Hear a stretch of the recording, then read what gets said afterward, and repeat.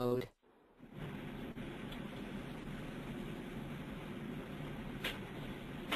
Hello, everyone. I want to welcome everyone, both in the U.S. and internationally, to today's webcast, Flushable or Not, Dispersing the Non-Dispersible Problem.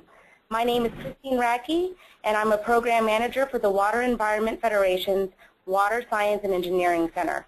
I will be moderating today's webcast, and I'm also here with my colleague, Rebecca Arvin, who will help with any technical issues on our end. I'm also here with one of our speakers, Hiram, and all the other speakers are remote. This webcast was organized by WEF's Collection Systems Committee and is sponsored by JWC Environmental and Xylem. Before we begin, I just want to go over a few housekeeping items.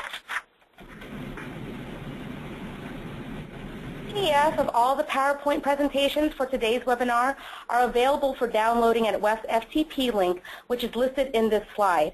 This link was distributed via email yesterday and will be distributed again tomorrow for anyone that registered after the time of distribution. The FTP link also contains information on how to receive professional development hours for those eligible to receive these training credits. There are two PDH credits available for this webcast. You will need to complete the evaluation form to receive the PDH certificate. Your feedback on this webcast is important and helps identify future webcast topics that are timely and helpful to viewers like you. Please follow the PDH instructions and check with your state accreditation agency on how to receive this credit. The other item available within the FTP link is a guide to use GoToWebinar, which will help you with any technical, technical issues you may have on your end. Okay, so during this webcast, while you cannot speak directly to the presenters, you will have an opportunity to submit questions by typing in your specific question via the question pane that appears on your PC, as illustrated in this slide. Um, I will be accumulating questions and I will direct them to presenters at the end of the webcast. So please be sure to specify if a question is for one specific speaker or if it's for all speakers or a combination of speakers. Please note that we will be recording this webcast, and a link will be sent to all registered users tomorrow so that you can share it with colleagues who could not attend today. Further, if you have any questions after the webcast has ended, please email webcast at wef.org. All right, so I just want to quickly go down the agenda. Um, I will read a brief bio for each presenter right before the person speaks. Um, first, we're going to have Frank Dick, speak on, um, well, he's going to give an overview of why flushable wipes are a problem to the water industry. He will discuss efforts to challenge product claims of flushability of convenience wipes by various testing methods. He will also discuss the importance and methods to quantify costs for managing clogs, blockages, and other issues associated with non-dispersible materials. Nick Arhontes will follow, sharing public education efforts that Orange County Sanitation District has been doing for the last few years. He will also share highlights of a recent panel discuss, discussion which was held at the California WEA conference between representatives of the wastewater utilities and non-woven industries. Abby Strauss will then follow with um, a discussion on legislative efforts and lessons learned that Maine has done to set flushability standards, and we'll compare it with California, Washington, and New Jersey efforts. Finally, we have Hiram Tanner, who will put it, pull everything together and share what's happening on a national level. While you're typing in questions for the QA portion, we will hear our, from our sponsors, Xylem and JWC Environmental. I'd like to thank them again because without them, we would not be able to host this webcast at no cost. One more thing before I introduce our first speaker. I do want to acknowledge that a lot of the work that has been happening around flushables is because of the partnership and open collaboration we have with the National Association of Clean Water Agencies which is NACWA, the American Public Works Association, APWA, and all the other acronyms listed on this slide. Hiram will go into more detail of activities already in place nationally during his portion of the webinar. You will hear a lot of these acronyms throughout the webcast, so we've listed it all here for your reference. Okay, so now it's my pleasure to introduce our first speaker. Frank Dick is a wastewater engineer and industrial pretreatment coordinator for the city of Vancouver in the state of Washington. He manages the city's delegate pretreatment program, which includes 18 significant industrials. He also is charged with capital improvement projects and energy efficiency efforts for the city's wastewater treatment facilities. Prior to his six years in wastewater engineering, Frank spent 20 years in environmental and facilities engineering at semiconductor facilities in the Portland, Vancouver area. Frank has a BS in chemical engineering from Washington State University and is a licensed PE in the states of Washington and Oregon. With that, I now introduce Frank. Well, I'm handing over the controls to Frank. So Frank, take it away. All right. Hopefully everybody can hear me and see my presentation. So just a quick overview. Um, again, throughout this and other presentations, you'll see that we're all experiencing problems with clogged pipes and pumps as more and more convenience materials come onto the market for consumers. So I'll talk about materials that are causing these problems and then talk about some efforts that Vancouver and others across the country have done to challenge uh, particularly packaging claims, particularly packages of uh, materials that are labeled as flushable. Um, Frank, I'm sorry to interrupt you, but we're having a hard time hearing you. Okay. Um, you maybe pick up your handset. Would that work? Yeah. Yeah, just a sec.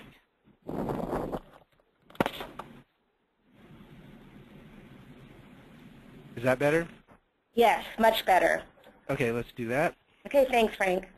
Yeah. Um, and then lastly, um, it's important for wastewater, the wastewater industry and its trade associations to calculate costs associated with maintenance, labor, electricity, and equipment replacement so that our local, state, and federal government leaders understand financial impacts to our sewer collection and treatment systems. So pipe and pump clogs have become so prevalent and common that the issue is now forefront for many utilities across the country, and it's starting to get uh, public attention. So as I mentioned earlier, clog pumps, clogged pumps and pipes have real and significant costs, including maintenance, disposal, and equipment costs, and electrical costs. And furthermore, it's not listed on this slide, but these conditions prevent, in my mind, worker significant worker safety and ergonomic issues and increase, increases risk for sewer backups and overflows. So the, the clogging problem is increasing as more and more convenience products are available for consumers.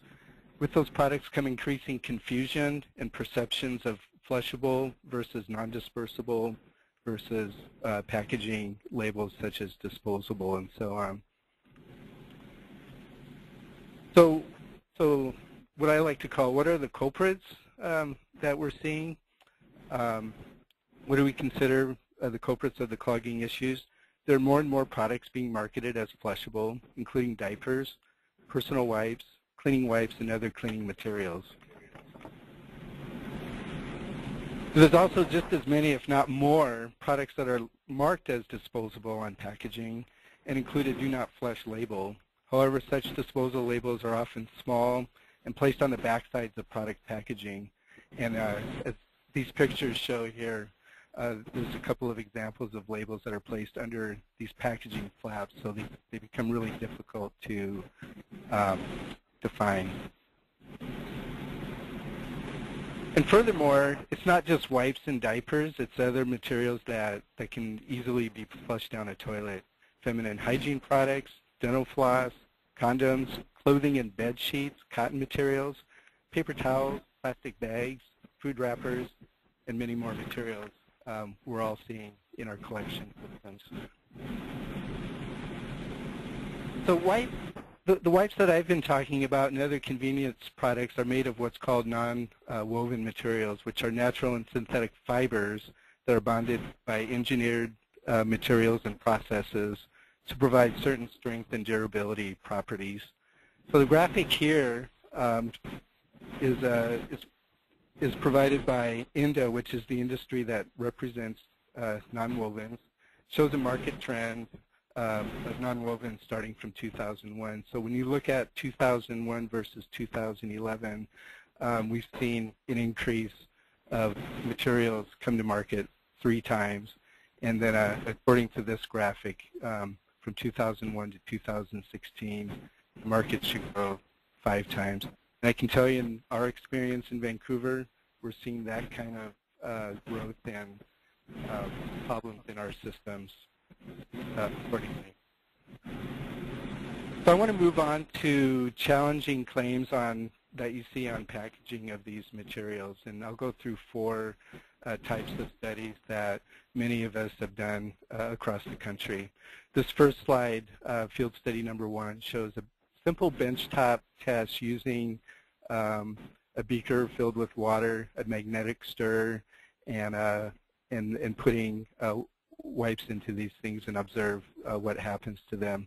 So in this study here, um, it's recorded that after five minutes, the left-hand side toilet paper uh, breaks down uh, rapidly, um, and then the other, uh, uh, the, the right-hand side picture shows a flushable wipe that's been put into the beaker. After 24 hours, you can still see it's in a pretty whole form. Uh, in Vancouver, uh, the first test was done in, in Orange County, um, California. Uh, we repeated the test in Vancouver. We saw our toilet paper disperse after 40 seconds. And uh, in this picture, after 16 hours, the flushable wipe that we put into that beaker uh, still holds. holds. So anybody can do this in their, in their lab, and I encourage them to do so.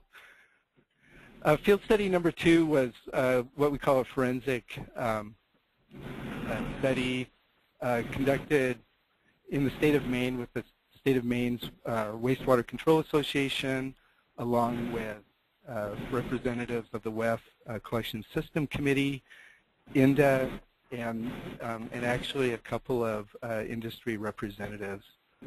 So they were the first really to evaluate um, the makeup of materials and clogs and conducted a coordinated test with uh, product with these uh, representatives.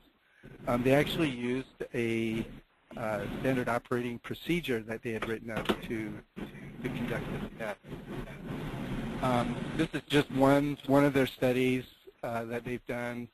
Uh, the results that came out of that: 42% were paper products, uh, things like paper towels out of public restrooms. 24% baby wipes, 17% feminine hygiene products, 8% that they identified as flushable wipes, and 10% uh, in another category. So uh, during this study, the folks that were involved were able to kind of make draw some conclusions from that. 90% um, of the products removed from the sewer uh, during the test are non-flushable. Uh, the flushable products um, do not have a lot of structural strength tear easily, but they tend to be uh, collected in full form. Uh, paper towels are, are an issue, and uh, baby wipes are really indestructible pieces of, of plastic and just uh, won't break down. So for the third test, uh, this, this was a test uh, developed in Parsa, New Jersey by a gentleman with the WEF Collection System Committee. Um, they developed a, a, a, portable toilet where they can um, demonstrate by multiple flushes whether or not certain materials will disperse, break down, or not. So they've they've been using this a bit. Um, this is an example where they took a package of flushable wipes and with the same uh, materials flushed it uh, 100 times and still found the material intact. Uh, here's a nice engineering drawing to uh, that, that, shows the, the makeup of, of, these toilets. And if anybody is really serious about wanting to um, to, to, replicate this, we can certainly um, provide more detailed information for that. And just as an example, in Bothell, Washington, as far as I know, this is the second uh, system that's been uh, been made uh, a replication of the Parsapati system, and it's been in place for about a month now and uh, taken around to public events and so on. It's a really good way to, to demonstrate issues with flushability. And then uh, here in Vancouver, Washington, we did uh, a field study. We wanted to go straight to the sewer and see see what happens when we put uh, wipes into our collection system. So we uh, identified three drop sites, three manholes that we were going to drop um, flushable wipes and baby wipes, and then and then go to the treatment plant and and pick them off of the screening. So uh, the reference to MP is a marine marine park plant. Vancouver has two plants. The other one's called uh, West Side. So you can see the various distances there. The furthest one uh, almost a mile away, and I'll show some pictures uh, from results from that. So um, this is the first test that we did, the, the dumping from about 500 uh, or 800 feet away. Uh, five minutes travel time through the sewer. Uh, we picked these up off uh, screening system, but this was, uh, we have a, one of our plants has a screening system after our influent pumps. So the red, dark red um, wipes that you see there were actually the flushable wipes and actually did tear up a little bit through the pumps. The less red or kind of the orangish color ones are baby wipes, and they are indestructible. They they stayed fully intact. And then the other white ones um, were just other uh, wipes that we picked off the screenings. So that was done at our at Vancouver's Marine Park plant. The other two studies were done at the West Side treatment plant, and we have a screenings device um, ahead of our influent pump. So these materials come straight to the plant and, pat, um, and the wastewater flows through the screens. So in this picture, um, this shows what we did from dropping uh, wipes in a manhole about uh, 1,000 feet away uh, through an interceptor line that flows about 4 million gallons a day, 14 minutes um, travel time in the sewer. The red uh, wipes there, show, shown in that little quilt pattern, um, are wipes that were labeled as flushable. The orange ones are baby wipes. And in this test, we saw no distinction. The, the so-called flushable wipes were fully intact as we picked them off the, um, the influent screens. And then finally, um, this was another uh, test we did, the, the furthest one away, um, about 5,000 feet away, almost a mile, 45 minutes in the sewer, uh, basically the same results. The red ones are the flushable ones. Um, the other ones are blue, they're not orange. Um, we, we, just used a different dye color for this particular test. So I want to talk um, a little bit about our experience in calculating um, our cost to to show our leaders, you know, the the, the financial impact of the problem. So uh, we've we've recorded uh, about $78,000 annually in maintenance. That's to deploy workers to go out in the field and derag uh, pumps. Um, these pumps operate when they're clogged up not efficiently on their pump curve. So um, we we understand about $30, $30,000 annually in added electricity costs to, to run cl clogged pumps. And over the past uh, five years, Vancouver has um, aggressively replaced uh, pumps with non-clogged pumps at a cost of close to $1 million uh, for capital improvement dollars. And then finally, um, we collect about 429 tons of rags and other debris from our screenings um, from, from our wastewater treatment plants. Uh, the, the previous slide I showed was uh, for, our, for Vancouver's larger pump stations. Vancouver has about 36 smaller pump stations in its service area of about 200,000 people. And, uh, we, and in the smaller pump stations, we've retrofitted eight stations at a cost of $160,000 and deferred $50,000 in maintenance costs. So these are significant and real um, dollars we're talking about. Uh, the larger uh, pump sta stations from a couple of slides ago, in all cases we've had to replace pumps before the end of their, their useful life. And the pumps, these were pumps that were installed at newer pump stations in, in the 1990s. Um, lastly, I just wanted to go over a, a form that was um, developed by the uh, Southern California um, uh, Alliance for POTWs. And this is an incident report form that we're encouraging folks to fill out as they experience uh, clogs in pipes and pumps.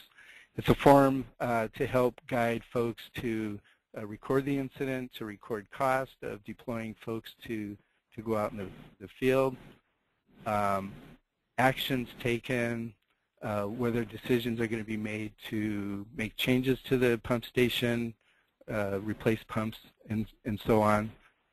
Um, and then again, uh, estimating uh, a cost associated with this. And fairly new form that was developed in the last few months, but we're really trying to push it out for folks to fill out and to uh, bring it to one kind of clearinghouse, and that will be um, presented uh, later, maybe not in this webinar, but uh, we're, we're definitely trying to get the information out to folks. So what can, um, what can you do um, across, across the country, uh, sewer agencies and so on? Um, document, document really helps, helps, um, helps us. Preventative and corrective maintenance tasks in sewers and pump stations and treatment plants, recording labor hours and costs associated with deragging and other issues with uh, um, unclogging pipes and pumps, um, documenting equipment repair and replacement costs, fuel costs associated with um, deployment of folks to the field, um, debris hauling fees, and uh, of course blockages and SSO, uh, sewer sanitary overflow events, and fines associated with that. And we want people to um, to share information uh, with us and with others. And right now, I think the best way to do that is to, to look at the incident report form that will be available to you and to, um, and to, to start using it as a, as a guide to, to, to record your cost. And with that, this is my last slide. Christine? Okay, thank you, Frank. Um, we do have one question for you. Uh, when you did the test, were different brands of wipes used? Yes. Um, particularly for the flushable, we challenged one particular brand, but for the um, baby wipes, we used uh, several different brands. Um, and we, we've just started this testing a couple of months ago, and we intend to, um, to test other uh, products both marketed as flushable and, and non-flushable. Okay. Now, are you going to also do um, your own Parsa potty? We are going to do it. Maybe one day we can have a competition of the best Parsa potty. yeah. So, and that's, that kind of brings a good point because we went when we went out to the field, we we dumped these dyed wipes in manholes, but um, maybe to kind of complete the test, we'd like to take the Parsa potty with us and actually do a flush into the manhole. that's, that's my thinking. Okay, well, great. Thank you, Frank. Um, of course, we'll, we'll get to some more questions um, afterwards. I'm just going to go on to Nick. Um, and uh, let's, again, thank, thank you, Frank. So let me uh, give a brief bio on, on Nick Arhontes, our next speaker. He's the Director of Facility Support Services for Orange County Sanitation District in California. Nick's team manages the successful operation and maintenance of numerous infrastructure systems, including the wastewater collection facilities and various services and support facilities owned and managed by OCSD.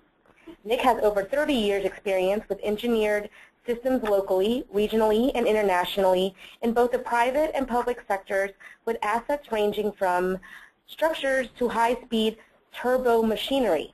He was an innovator and stimulator in moving OCSD to advance asset management strategies, as well as working teams to improve the delivery of capital improvement projects and CIP management processes. I'd also like to point out that Nick is also instrumental in getting NACWA, APWA, and WEF members and staff together to discuss how to deal with flushable yet non-dispersible products. Nick holds a BS degree in civil engineering from the University of California, Berkeley. He is a registered PE in California and holds grade 4 collection systems and grade 4 mechanical technologist certifications from CWEA. And with that, I would love to I am honored to um, introduce Nick, who is also WEF 2005 Collection Systems awardee. So Nick, take it away. Thank you very much, Christine, and I'm happy to help today. Again, my presentation is going to be in two segments. First, I want to cover our What to Flush effort that we developed at OCSD, and then second, a little bit of information about the panel discussion that I participated on uh, in Palm Springs recently with members of INDA, uh, myself, and uh, Bob from Xylem, and also representative from JWC. First, our What to Flush campaign. Our agency serves the southwest uh, part of uh, California, and we're a coastal uh, discharger. We have 24 different utilities upstream of us that discharge from their local sewers into our regional sewers, and we also own one of these local sewer utilities. So we have a small pipe system with its problems, and then we also have a medium and large diameter pipe system and large pumping plants with different problems. We have a strategic plan and our mission statement and vision statement, and this is our a mission statement out of our strategic plan. And again, all wastewater utilities are here to protect public health. That's our core business. With our utility, we are also concerned about reclaiming our water because part of it is used for aquifer recharge in the central Orange County area uh, that's provided by a sister agency. The goals of our outreach program when we started to really rethink and redesign this was we wanted to have the public involved in the process of making decisions about reliability and life of our infrastructure. This is all tied to fees. And we wanted them to be cognizant of the problems that are caused in blocking sewers and sewer spills that can close surface waters. And again, the, the concern on water reclamation anything you introduce into the wastewater stream has potential to carry over into the reclamation stream. Public affairs uh, teams and their experts uh, in many agencies, uh, they tend to focus first on developing the right campaign. And this is a summary of the uh, items that we uh, thought were very important uh, as you develop your campaigns.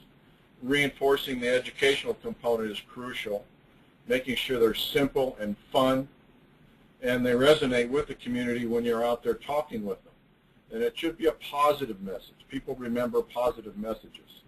And once people want to come back and ask more questions, and that's what we're starting to see. We had some previous campaigns, and uh, they were they are all very helpful.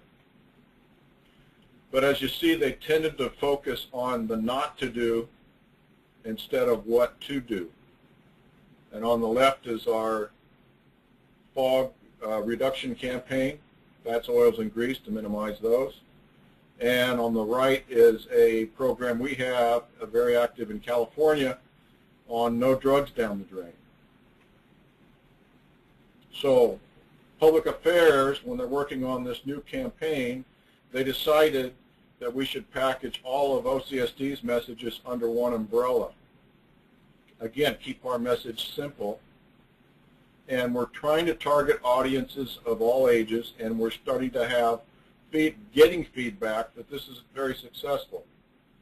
And I'll show a little bit information on our collateral materials that help with the, uh, the branding and the rollout.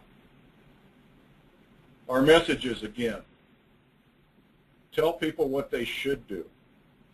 Be simple with the message. Be direct with the message. Our three P's, pee, poop, and toilet paper. These are the only things that should be flushed to a sanitary sewer.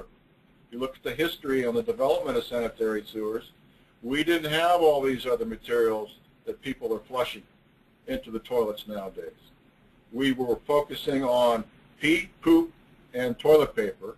Toilet paper uh, not at first, it was developed later for convenience of the, of the person.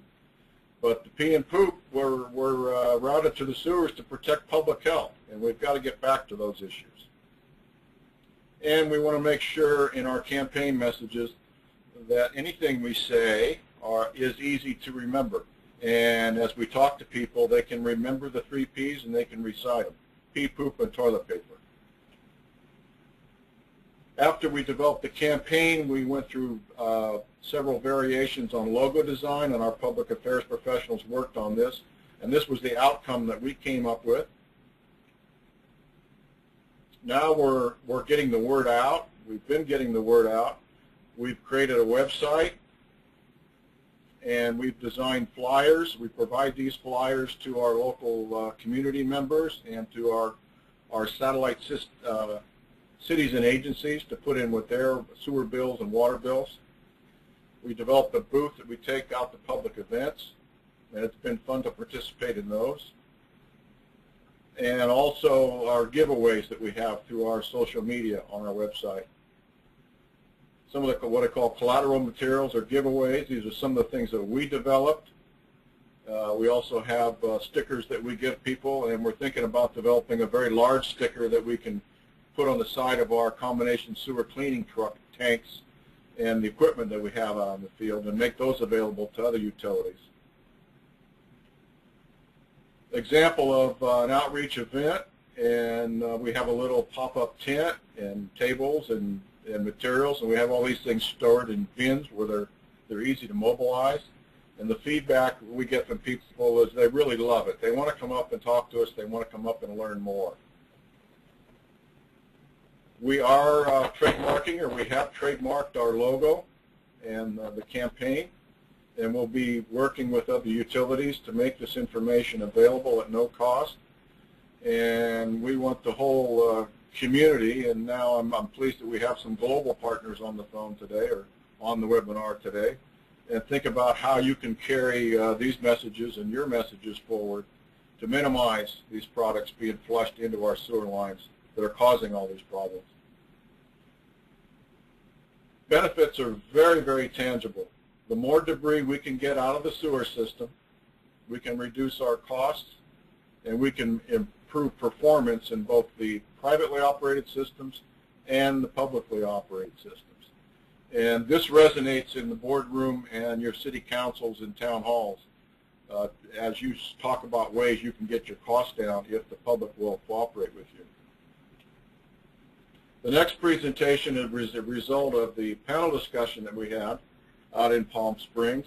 And I do want to thank our, uh, our, our uh, friends from INDA for participating on that one, as well as uh, Bob and the representative from JWC. Steve Ogle was the representative from INDA that came out to work with us. This is the problem as we see it based on the experience we're having at OCSD two uh, two major areas for confusion are you know what's flushable versus what's dispersible. Toilet paper, pee poop and toilet paper. The poop breaks down pretty easily and the toilet paper breaks down pretty easily. And, and these are examples of what are dispersible materials. Product labeling is can be very uh, confusing for the consumer. Uh, because of where labels are placed on the products or where they're not placed on the products, or you can't read the labeling. And, and as we talk to people, we see a lot of confusion. So that is a problem, and uh, that has to be dealt with in the future. This is a little bit of history for you, and there's a lot of materials you can read. Uh, 2003, there was a, a uh, report done by Worth, and you can get a hold of this and read it. And uh, after this report was done, uh, the INDA group developed some voluntary guidelines with their European partners, EDANA. And the second edition, they made some improvements. And we like the language they have on here that the products after flushing should become unrecognizable in a reasonable amount of time. And uh, that tends to be the debate nowadays is what's a reasonable amount of time. Of course, they can't break down as fast as toilet paper. We understand that. But it's got to be much better than uh, a piece of plastic that never breaks down, as Frank showed in his examples. In 2010, INDA asked us to help uh, some of the WEF Collection System Committee members to help with peer review, and we said we would. And uh, that process didn't start until a couple of weeks ago. So we were off to uh, not having uh, an opportunity to participate in this process, uh, but we have in the last couple of weeks, and we have provided some comments. So we have started, but uh, it was real, real late in the process. Uh, Frank showed this example. When we look at packages and labeling on them, things that uh, trigger for us are things that say breaks apart after flushing. Well, as you can see with the, uh, the demonstration toilets, you can flush these things and they don't break apart after flushing. Also, when people say they're safe for sewer and septic, we want to see more information. Who says they're safe and why and where's your test data? Frank showed this example. I encourage all utilities to, to use some of this simple lab equipment and do their own little stir test with using toilet paper as your baseline material and, uh, and see what you find as you stir these things. A little bit on legislation. Aubrey's going to go into this a lot more in her segment, but these are two activities that I was involved with, and one in California. Uh, very simple, but it came to a uh, screeching halt as it was passing through committees in our state legislature. Uh, and then Aubrey will cover more about the activities in Maine. Frank showed this slide. Uh, market type data like this uh, really reveals uh, that there is going to be a expected growth in consumers using these products. Not all of these products will wind up uh, in a bathroom setting, but nevertheless, uh, these types of trends are concerning to us in the wastewater business. Frank talked about uh, using the SCAP form, uh, and that's a good form to use. And this is just a little bit of information, and we are filling out these forms for SCAP for our various parts of our gravity sewer system and our pressure sewer system where we're having the problems. But these are some of our findings. The, uh, the real interesting one was we put a brand new headworks online in our Huntington Beach plant, and we were having problems with the non-dispersible products being pumped from one of our new pumping plants over to the new headworks, and it was clogging the bar screens and the washer compactors at the headworks. So this is another new area where our uh, consulting engineers, who hopefully are online today, are starting to understand there's a whole other part of our sewer system that you need to understand today in designing facilities. Again, just some other examples of products that we find and we read the labels. And uh, this one uh, may have some promise. It actually started to show some dispersion after an hour. So anytime uh, manufacturers can re-engineer products and move towards more rapid dispersibility, uh, this is a good thing versus uh, something made out of plastic that won't break down. I always uh, try to encourage folks whenever I'm out speaking, no matter what the group is. Again, this was prepared for a water environment group in California. How can their members help me? How can they help the industry? And it's essentially at this point in time really tracking uh, their costs that are tied to their labor. They are tracking a lot of their labor and things like this, but really telling their story and sharing this information with your member association and uh, also uh, by using that SCAP form so we can start to compile a good database. And again, I wrapped up with our, uh, our message on our three Ps, pee, poop, and toilet paper. Those are the only things we want flushed to a sewer. And I'm done. Thank you, Christine. Wow, very good. Well, we do have some time for questions and everything. Um, I do want to point out that um, Kristen Kobe from King County actually said that they added a fourth P, which was puke. So maybe something to consider in the future, Nick. um, so I do have some questions for you. Let's see. Patty is asking if they can have permission to use your logo. Yeah, if you will just send me an email, uh, we're, we're working this out with Public Affairs right now, but uh, we'll, we'll work with you on that to accomplish your goal. Great. And maybe we could put that in like a, uh, whatever, in, on the FTP side or something like that, like a Yeah, you can have that in with your uh, transcripts of the, today's event. We'll be sure to capture all those things and route them to Public Affairs. Yes, absolutely. Okay, here's a question from Jeannie. Uh, she'd like to know, have you been able to measure the impact of your What to Flush campaign? Example, cost before and after the campaign? Not at this time. We're very interested in doing that, but it has to be on a, almost like a drainage basin, like drainage basin approach. All right, here's another question. Let's see. Okay, you mentioned that the wastewater industry had an opportunity to provide comments for uh, INDA's flushability, flushability guidance document. Can you elaborate on some of those comments that were provided from from our industry, um, and and what are what's your take on that? Uh, we can actually post our comments that were provided uh, and share that with uh, with the folks that are on the webinar. Uh, again, we got into the process late, and uh, we had multiple concerns, and uh, so it's better probably we can post those things and show people.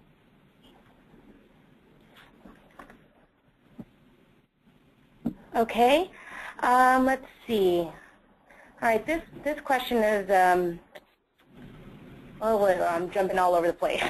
Sorry. All right. This this this question is from Jeff.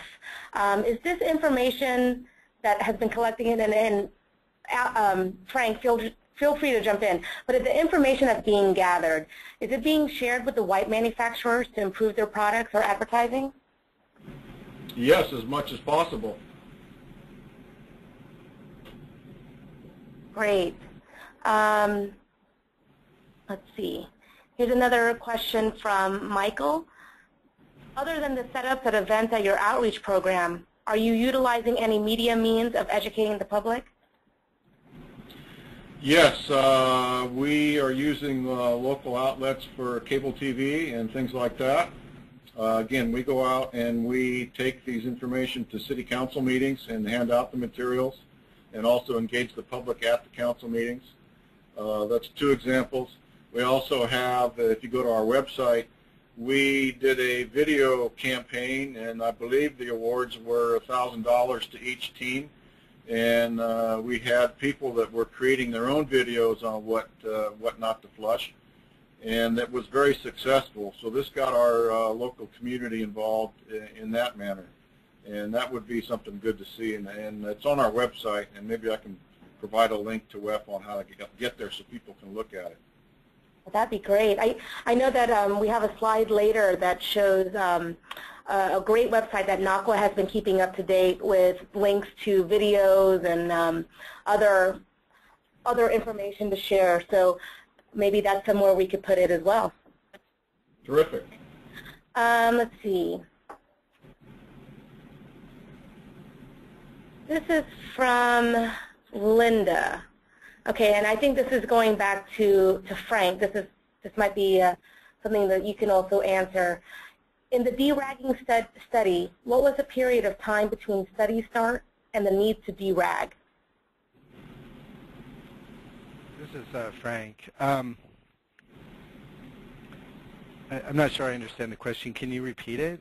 Sure. Um, in the deragging study, what was the period of time between the between the study start and the need to derag? Oh, I, um, I mean, I, I, listed the times in the slides, but um, anywhere from five minutes to to 45 minutes.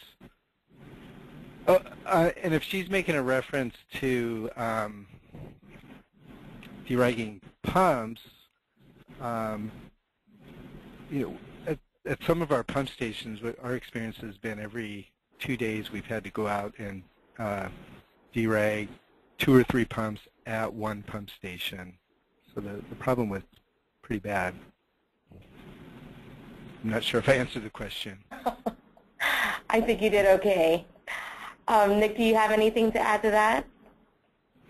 Uh, numerous locations. Uh, we are out there doing derags at some every other day.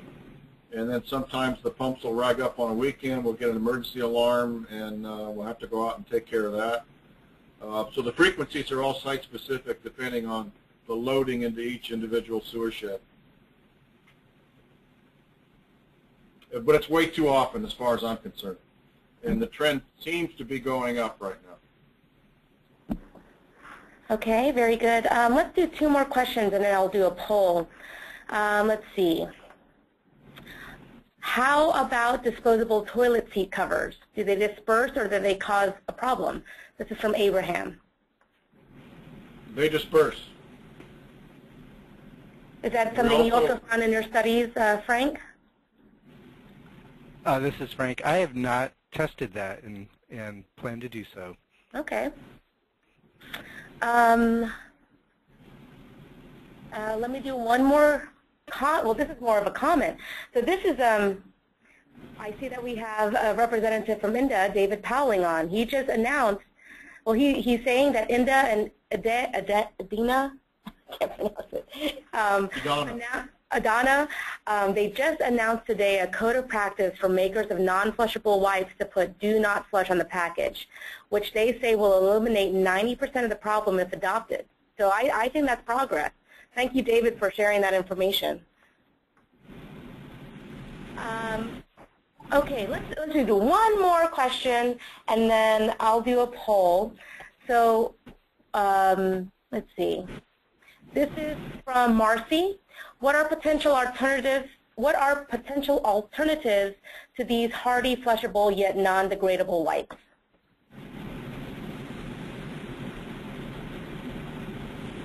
Well, as we've seen, this is Nick, as we've seen in one example, uh, over in Europe, one of the manufacturers based in uh, Northern Europe actually re-engineered their product uh, to gain some rapid disperse, more rapid dispersibility. And um, that's how I found out about the product. So we know manufacturers can make changes to try to achieve goals that are more uh, acceptable to the wastewater industry, and that involves just product re-engineering. Pretty simple stuff. Okay, great. Thank you very much. All right, guys. So um, uh, thank you, Nick and Frank, also for answering some questions. Before we move on to Aubrey, I'd like to do a quick poll. As you can see, I have the poll up online. The question is, how many people are participating in the webcast today at your computer? So if you could um, just start answering that, and then um, and we'll share the results. And if, if you're participating by yourself, please respond one. If you're participating in a conference room, for example, or have several people gathered around your computer, just do a quick head count.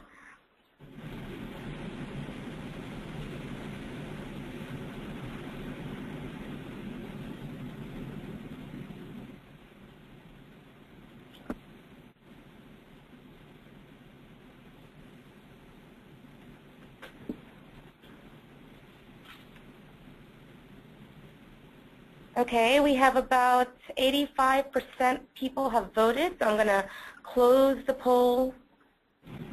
Um, it looks like we have, oh, can I share the results? Here. All right, we have about 77% are singles, but we do have about two to four people, 15% are two to four people at, at uh, one computer. So that's, that's pretty good. Very good. I'm glad you guys can all join us. Okay, so moving on, I'm going to now introduce our next presenter.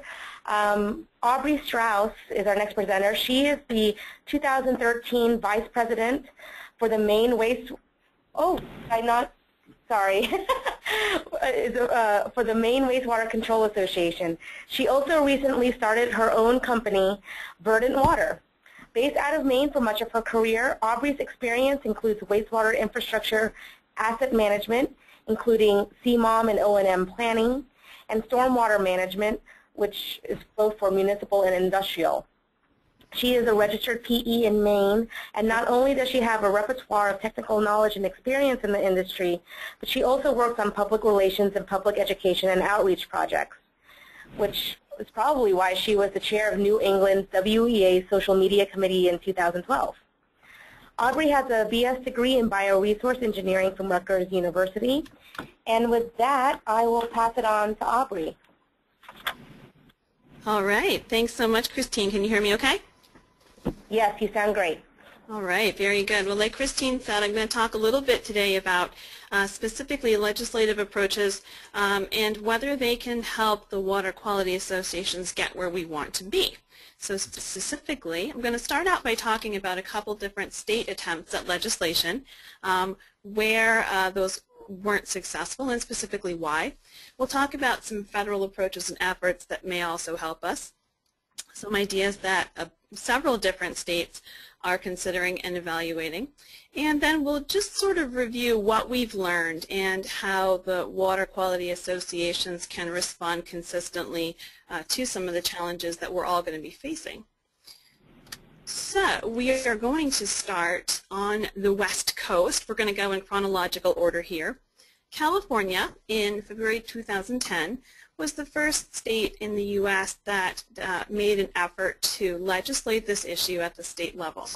Um, in summary, what happened or what, what this particular assembly bill included was its own definition, its own criteria for flushability tying the behavior of a product back to, to comparing it to how toilet paper would behave. So here we're talking about the product and describing its behavior as compared to how toilet paper would react in the same condition. So in this case, it, it wrote its own definition. Um, INDA, we've talked about INDA a couple times. Um, INDA, in its own uh, correspondence with members, says that it took immediate action and wrote hundreds of emails uh, opposing, essentially, this particular, this particular bill. And specifically what INDA was opposed to is that they felt that by proposing its own definition of flushability, tying the product to the behavior of toilet paper, that it essentially opposed the flushability assessment standards that, that Nick was talking about, the definition that it as a, as a manufacturers association had taken a lot of time to come up with. So it was the, it was the fact that the two definitions opposed each other. And INDA got involved. They helped um, write some of the amendments that you can see on the screen, and they were successful in replacing that custom toilet paper-based criteria with uh, the definitions in its own flushability guidelines and the certification process. Nevertheless, the bill was not successful for a couple reasons. Um, first of all, uh, INDA did point out or claim that the FTC, the Federal Trade Commission, really already has the authority to require that any package, um, the claims on a package be substantiated. And at the time, there was no certification for its, its process. Even if a product met the definition that was in INDA's own uh, guidelines, there was no third party uh, that was available to certify that result. And instead what happened was INDA made a commitment to working with the state uh, in lieu of legislation, so looking for non-legislative efforts. And they made good on that promise by working with um, one of the local communities uh, in Contra Costa County.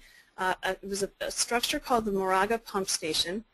And what INDA did was they got together, they had a graduate student assist them, and they took a look at the materials that were entering this station, which had a history of pump clogging.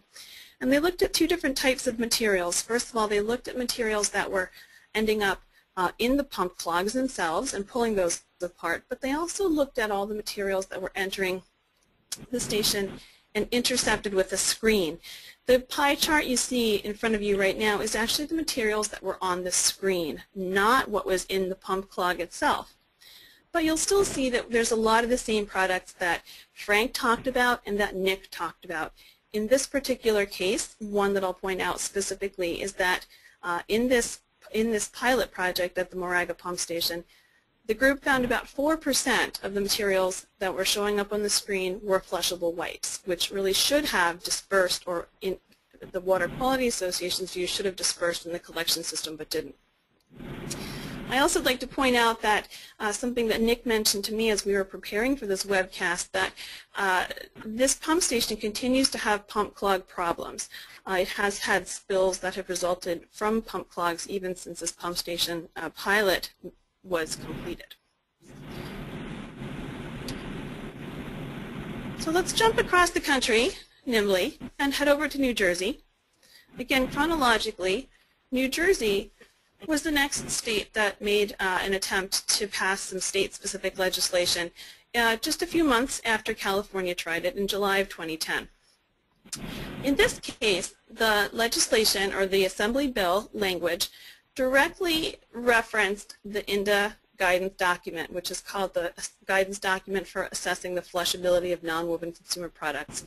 So this legislation tied the product criteria directly to INDA's own definition, its own testing methods, and its own certification process. Again, requiring that not only the product meet it, but also be certified by a third party for meeting that criteria. Um, in this particular case, we didn't have a success because primarily um, there hadn't been a focused strategic effort in the state of New Jersey to get widespread support for the bill. It was more or less driven by uh, one community and didn't have the engaged leadership that we now see across the country. Um, nevertheless, we can learn a lot of lessons from this in terms of um, making sure that we do get that strategic support behind it and making sure that we have an approved methodology uh, for testing a product and then transparency in reporting how a product has been tested.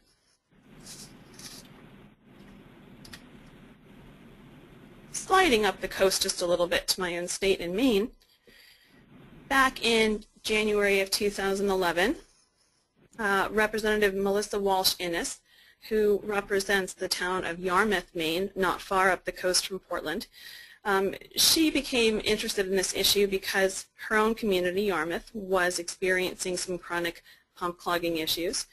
Um, she's very active on the, the, the types of um, products that can be managed um, as part of um, product stewardship approaches. So we presented, we as a state, Maine Wastewater Control Association worked with Representative Innes to write this legislation. And we also tied the criteria directly back to INDA's own flushability standards, saying that if it's going to be labeled as flushable uh, or safe for sewer in the state, it needs to have passed that acceptance criteria.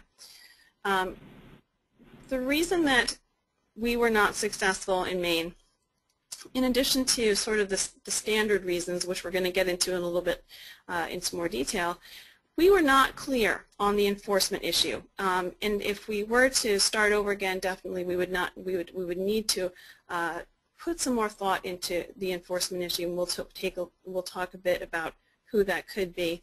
But we didn't address that uh, very clearly, and as a result, Maine DEP was not able to support our, our legislation. That would have gone a long way in getting it through the uh, what's called the ENR committee, which is the Environment and Natural Resources Committee in the Maine State Legislature. So we hadn't addressed that very clearly. And also Maine DEP was concerned about uh, labeling changes that would have uh, been required. The industry also was concerned about having to change its labels and make those on a state-specific uh, basis, um, and doing so in the timeline that was proposed. So in lieu of legislation, as we mentioned, um, INDA committed to working with Maine Wastewater on this issue, and in fact the ENR uh, committee required INDA to do so, and we have to report progress back. So although the legislation itself was not successful, the ENR committee is very, very supportive of these efforts and has been really, really wonderful, I think, for, for both INDA and us to work with. And we're going to talk a little bit more now about what we are doing in Maine. The legislation wasn't successful, but INDA's been required to continue to work with us. Specifically, shortly after, and actually even during when the work sessions were still happening in the legislature, we started a forensics project, we'll call it a forensics project, at the Portland Water District Cottage Place pump station. Um, now, why this pump station out of all the ones in Maine? We know we have a widespread issue in Maine. We've done some surveys, but we chose the Portland Water District pump station for a couple reasons. They have actually, Portland Water District has been fighting the issue of pump clogs and wipes uh, since 2005. They were one of the first um, entities to really reach out across the country, and they met Nick back back then already. So we've had a, a long history here of, of, uh, of, of, reaching out and, and sharing our experiences. Um, the Portland Water District, Mike, I think it was uh, Mike, had called in earlier or typed in a question for Nick and asked about how much education and outreach had been done. Well, in this particular case, Portland Water District did a lot of outreach. They did several media events. They did a lot of mailers. They did uh, newspaper articles. They invited several different news stations to come down into the into the pump station. They filmed uh, one of the collection system crew actually unclogging a pump uh, right there, right in front of the video cameras and everything.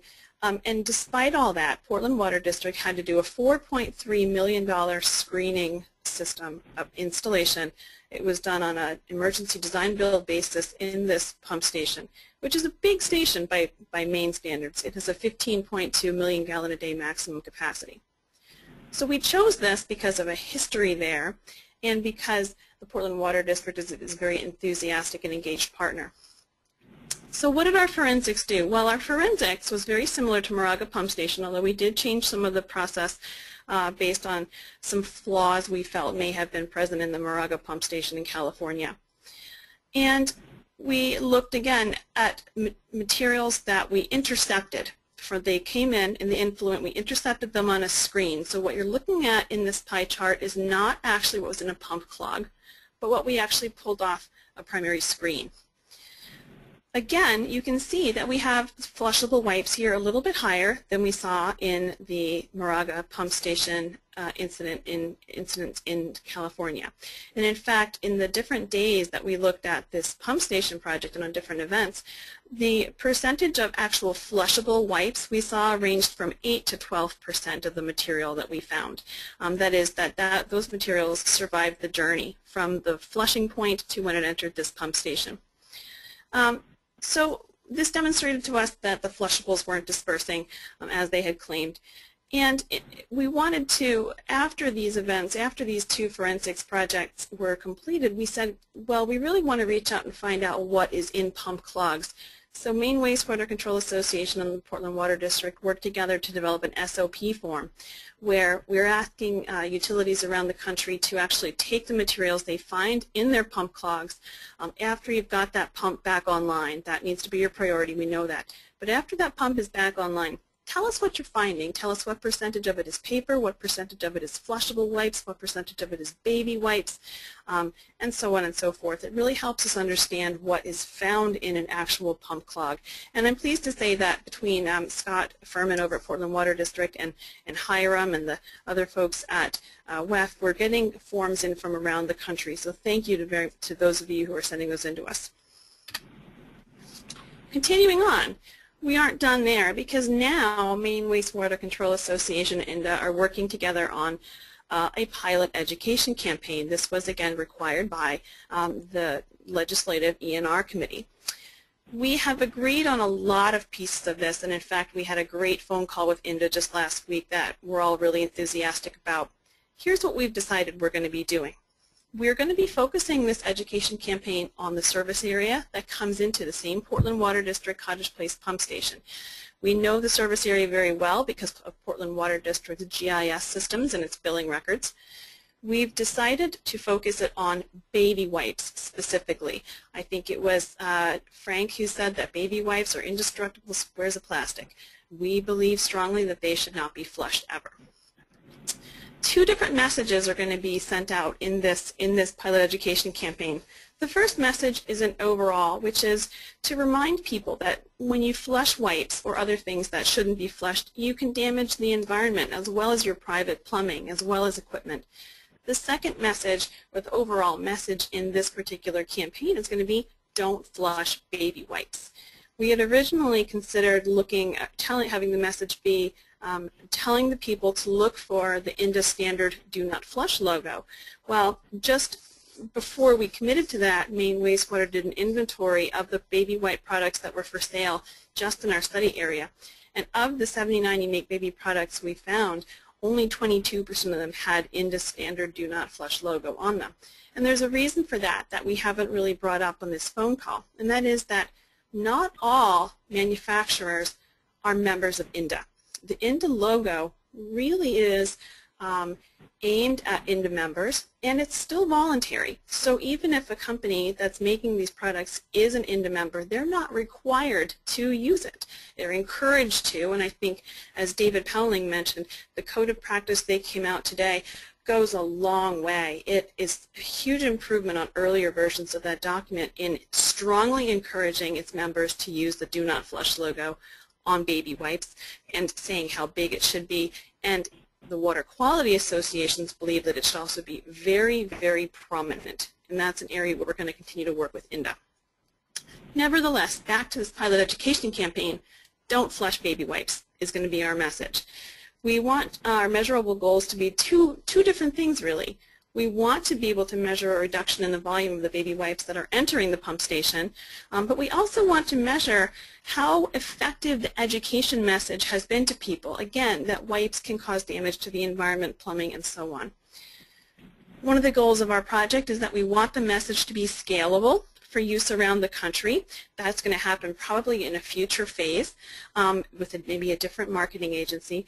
But we are going to be using a third-party marketing firm to implement this.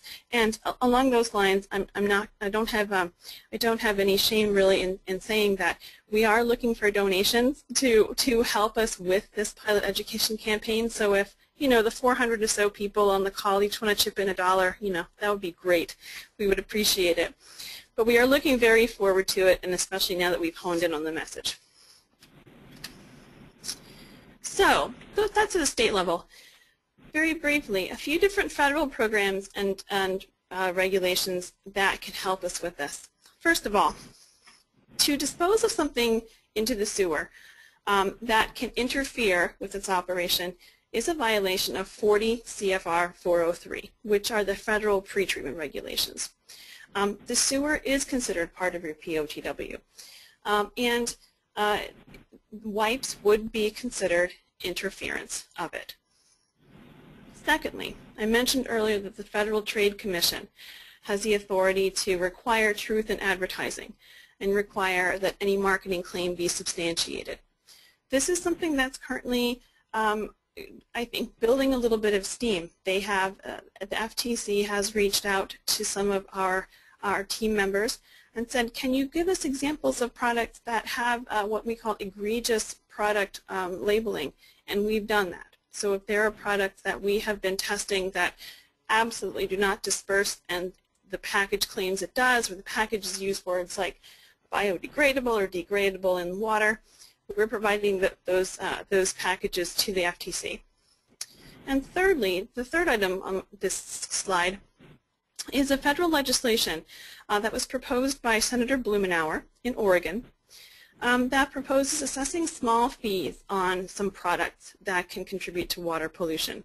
Um, this bill is not currently active, but um, Senator Blumenauer is considering uh, re reissuing it to remove some funding that originally, or some language that included water, drinking water, and focusing it just in on the clean water products any of the revenues that would be collected from these fees will be dedicated to clean water SRF and similar programs that are aimed at maintaining sanitary sewer infrastructure.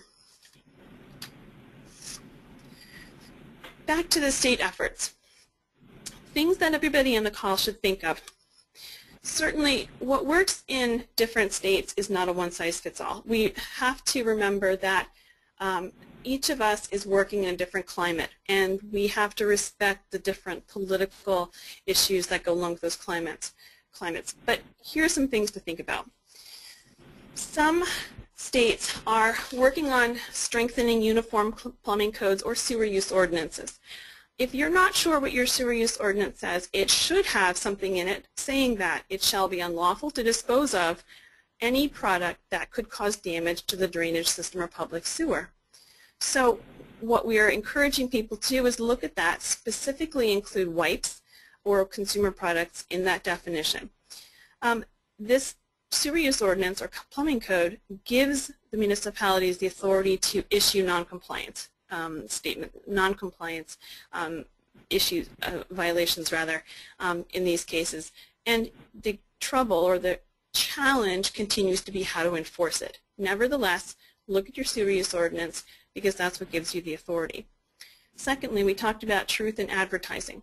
At a state level, this is typically managed by the Attorney General's office. Here in Maine, back when we wrote our legislation originally, we did approach the Attorney General's office about uh, the enforcement issue, and we did not get a lot of support. Uh, we know that we would probably have much more support with our current Attorney General. And I mentioned that the FTC also has uh, authority on this issue at a national level. Product stewardship is a program in which uh, manufacturers are held responsible for the recycling or disposal of products that they create. In California, they refer to this as extended producer responsibility. And this really can apply to a lot of different types of products. In Maine, we've used it for electronic waste or e-waste, uh, mercury switches and thermostats. A lot of states have looked at it for disposal of paint, uh, unused paint, and some states are also looking at this for pharmaceuticals, unused or expired pharmaceuticals. Um, this is an, a very, very, very effective um, approach for helping track the uh, responsible disposal of these kinds of products.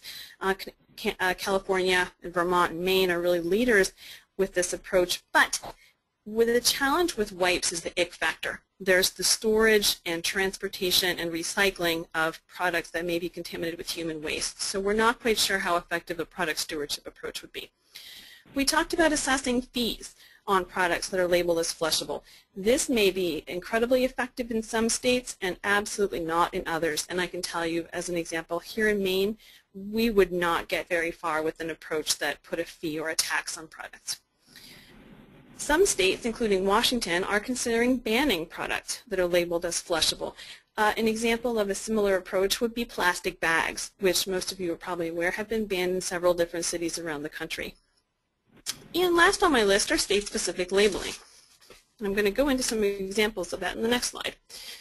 Genetically modified organisms, or GMO. This is a very hot item right now. Um, Connecticut and Maine just both passed legislation that requires food that contains uh, GMO uh, to be labeled as such. And actually 28 different states have proposed similar legislation. A second item where this has been successful is low phosphate detergents. At least 17 different states have implemented this um, in the last, I think, about 10 or 15 years. Um, State-specific means that the individual products have to have a specific label on them that are sold in that state. So these, what we have here, we could have the products um, have 17 different labels in those 17 different states.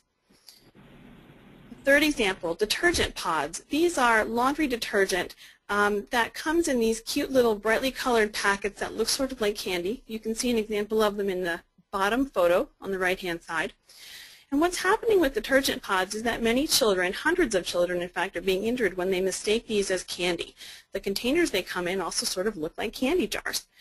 What we've seen is the manufacturers of these detergent pods voluntarily rolling out new labeling, which again you can see in the picture on the right, and also new packaging that doesn't look like candy jars. And they've done this very, very quickly. I'd also like to point out that some of the manufacturers that make the pods are the same manufacturers that make a lot of baby wipes.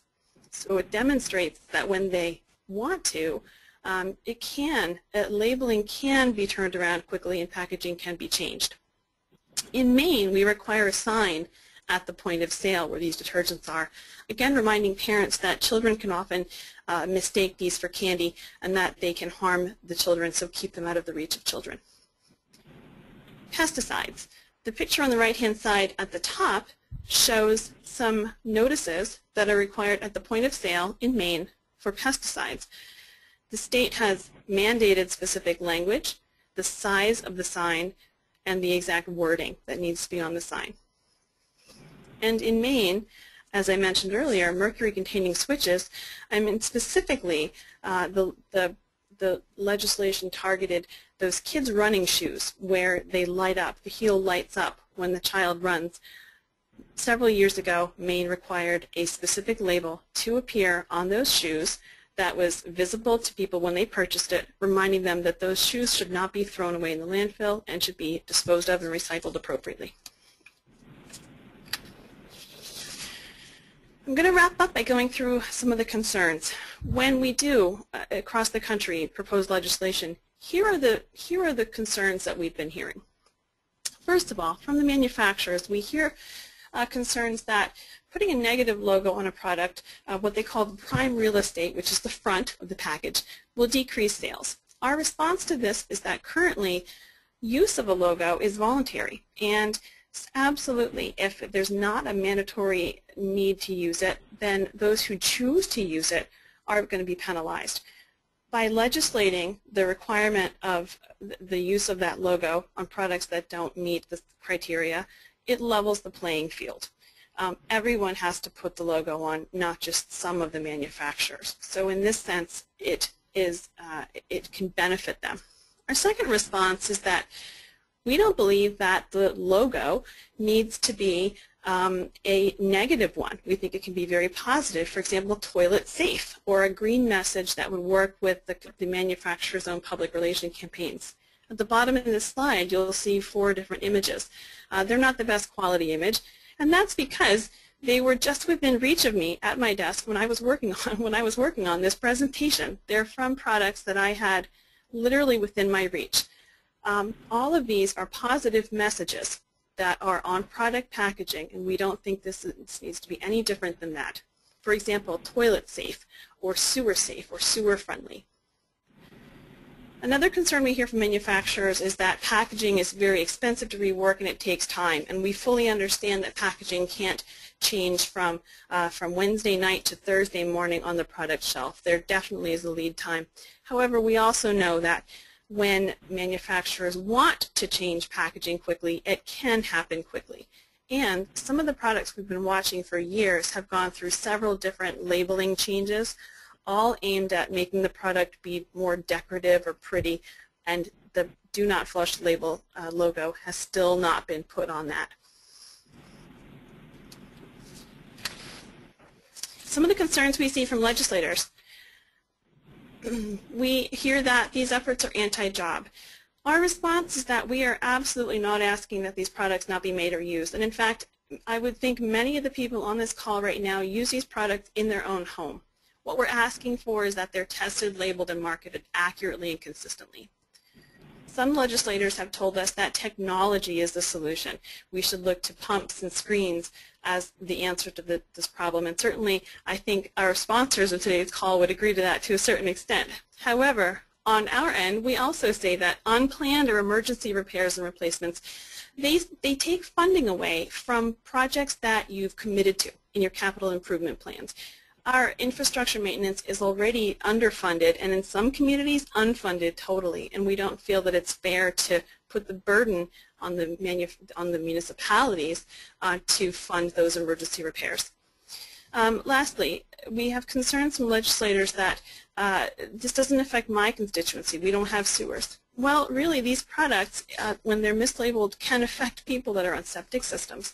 Um, they have to pay a, a higher tank pump out cost, or they have to pay for emergency plumbing response when their internal plumbing becomes clogged. Um, small businesses, um, such as septic haulers, are impacted. When a septic hauler maybe used to be able to pump out eight tanks a day and now can only pump out five tanks a day because his own truck pumps get clogged with the materials. So he's earning less income per day. And insurance companies um, are, are damaged by these products when they have to pay claims that are submitted by residents and landowners and property owners. Finally, additional concerns from legislators. You can't change consumer behavior. Well, that's true, but we can change a portion of it if we provide clear, consistent information. When we, Maine Wastewater Control Association or NWEA, do community events and we talk to people and we show them these product packages and then show them the materials and, and the, and the, um, the beakers where they're not breaking down, there's a lot of anger and frustration there. These are people that do read packages. They do look at the labels because they are environmentally conscious. They don't want to be flushing something they shouldn't. So there's a lot of frustration when they are told that, well, this really isn't um, a, a flushable product. Legislators say we can't be the first ones. we come back and say a lot of states are doing something in parallel with what we're asking you to do. And now there is a huge amount of national support and energy around this issue. So we're not the first. We have a lot of good company. Third, we can't put warning labels on everything.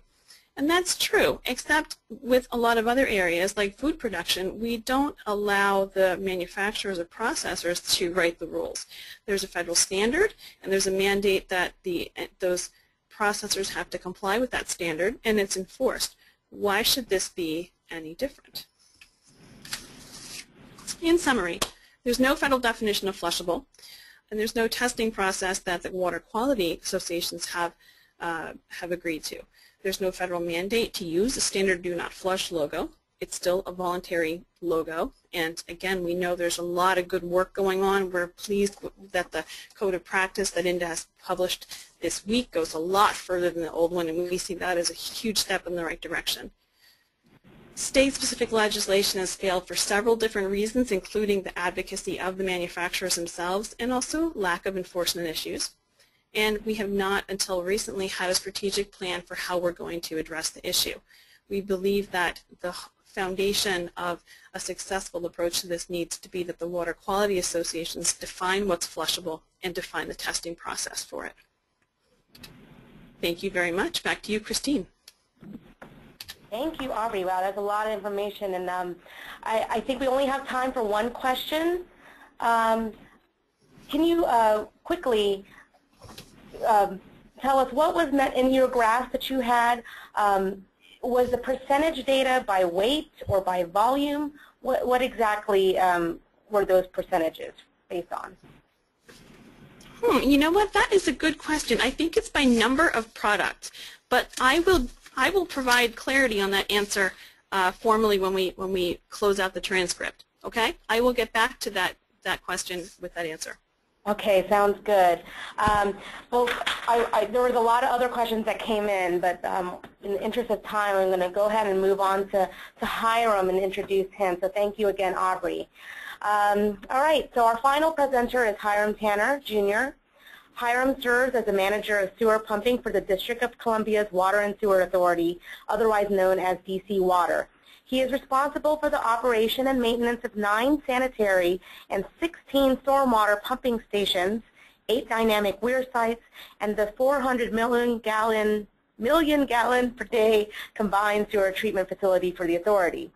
He ensures the division is in compliance with EPA regulations and the NPDES consent decree. Hiram holds a master's degree in business administration and a master's of science and engineering degree from the University of Pennsylvania's Wharton Graduate School and the College of Engineering and Applied Science. He earned his BS degree in civil engineering from Ohio Northern University, and he also serves on the WEF Collection Systems Committee and is the chair of WEF House of Delegates Non-Dispersible Work Group. So um, with that, I will pass it on to Hiram. Thank you very much, Christine. Uh, what I'd like to do this uh, afternoon is talk about some of the activities we've been doing as various groups and trying to combine that and organize it into a united effort. So the WEF Collection Systems um, Committee, the Unflushable Task Group, uh, started this ball rolling along with the NACWA. And we heard from Nick earlier today regarding uh, his activities in California. He is also a member of NACWA and one of the originators of this activity. At the time of the collection systems group uh, that I was first introduced to this, Rob Villée was the uh, committee chair and, and, still very active in this uh, effort to combat the non-dispersible issue. The WEF House of Delegates decided to form a non-dispersible work group in order to take advantage of the, the fact that the House of Delegates can reach out to all the member associations and get them involved. In the, the list of WEF groups that you see, uh, the Collection System Committee, the House of Delegates, the Manufacturers Representative Committee are all involved in uh, putting together our first invited session on the subject in, on the at WEFTEC in Chicago, and I'll talk about that a little later. So some of our activities to date, uh, NACWA has been very um, instrumental in providing a website for, our- for our repository of data that we have. Uh, so if you have some information, you have something that you uh, think is important to this effort, you can go to NACWA's uh, Flushables site and get either more information or even get permission to post information on the site. WEF is, uh, within our WEF organization, we have what we call WEFCOM, and it's been a, a very good source of communication both from the collection systems and the house work group. As we have you heard in various uh, discussions, especially with Aubrey just now, there's been a lot of interaction with INDA, and uh, so we're not, uh, we recognize that this is a growing product area, and certainly in our economy needs that type of activity. We just don't need it in the toilet, in the collection system. We have, uh, as a group, sent letters of uh, recognition to our appreciation to our senators in the state of Maine and other lo locales. We've also um, sent a letter to Costco thanking them for having a face-to-face meeting with our, our representative in, in, Kirkland, Washington, uh, Bobby Wallace, who I hope is still on our call today. We continue on with the public education flyers and brochures. We we see good good advertising, good um, concepts. We send it around the um, WEFCOM and to other, and also to the NACWA site. For example, one of my favorite ones has been um, the use of billboards in uh, Jacksonville, Arkansas for doing promoting the ideas very similar to what Nick has mentioned in Orange County where they it's a it's a full approach of all different types of of issues associated with the collection system, fog uh, issues as well as the pump clog issue. We also, uh, if, for those of you familiar with the WEF operations, we have what we call WEF Max. WEF is a MAX stands for WEF Member Exchange, Member Association Exchange. And at, at these meetings, member association representatives from, from around the country meet to discuss issues. And this year, we were able to present the pump clog and, and non-dispersible issue to all attendees at each one of the four WEFMAX uh, association meetings. As a result, we got great feedback. We're able now to expand, expand the, the uh, communication outreach to more and more members, both individually as well as their associations. Early on in our activity, we used, um, we started utilizing the concept of if somebody has a great idea, let's go ahead and adopt it. Why reinvent the wheel? And NUIA was working at the time was working on a position paper on the, the non-dispersible issue, and we chose to, once they finished it and endorsed it locally, we decided to endorse it as a House of Delegates and, the, and to use it and promote its use in the WEF AWWA fly-in. For those of you not familiar with that activity, it's a yearly activity where the Water Environment Association and as well as the American Water Works Association spends time with their at here in Washington D.C.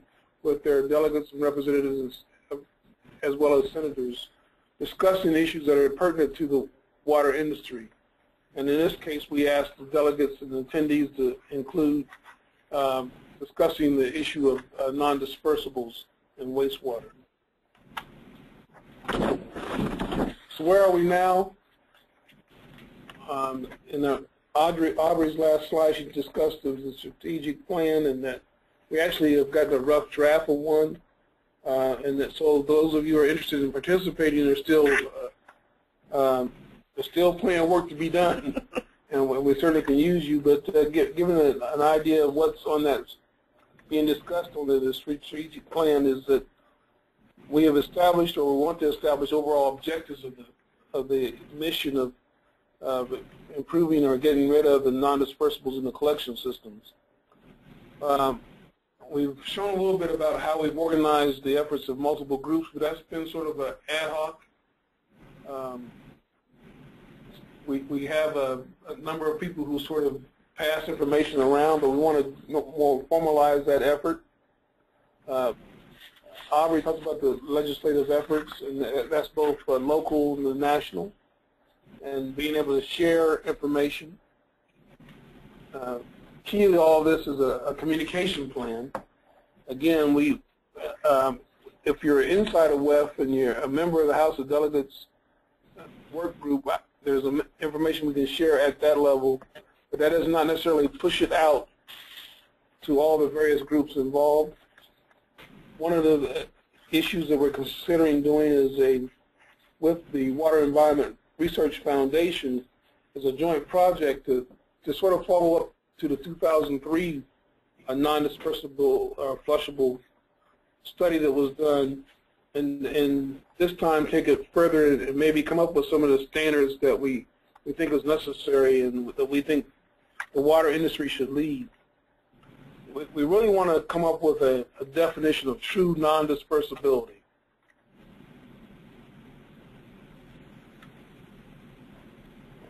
Oh, do you want me to go back? Sorry. Yeah, I'm sorry. um,